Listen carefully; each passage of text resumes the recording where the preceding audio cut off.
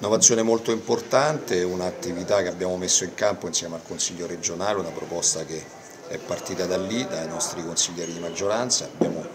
organizzato questo, questi corsi, è una cosa molto importante perché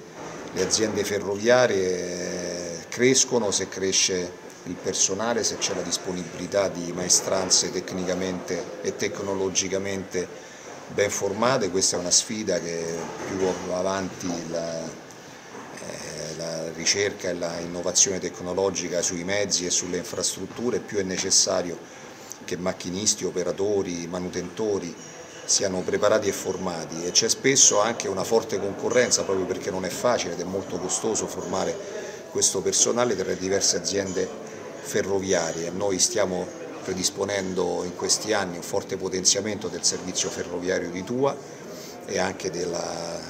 controllata Sangritana Cargo. Abbiamo bisogno di macchinisti specializzati e ben formati, questa iniziativa rafforza nel complesso le politiche di mobilità sostenibile della Regione Abruzzo.